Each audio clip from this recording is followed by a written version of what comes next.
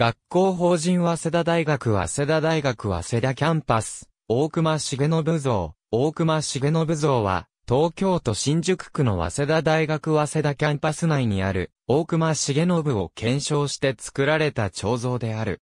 大隈重信像の正面背面早稲田キャンパスには2体の大隈像があり、有名なガウン姿で壮年期の立像は1932年10月17日、早稲田大学創設50周年と、大隈重信没後10回忌を兼ねて作られた。右足を失った後の姿のものであるため、杖をついているのが特徴である。制作者である彫刻家の朝倉文夫は、大隈像を3回制作しているが、この立像は2回目のもの。高さは298センチメートルあり、受験期には受験生により、再銭が投げ込まれることも少なくない。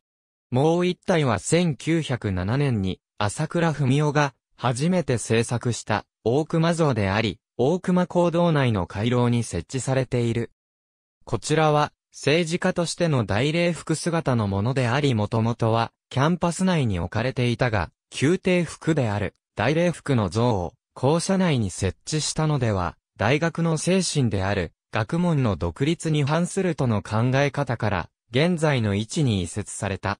その他に、東京都千代田区の国会議事堂参議院玄関ホール、佐賀県佐賀市にある、大熊記念館にも、大熊重信像が建立されている。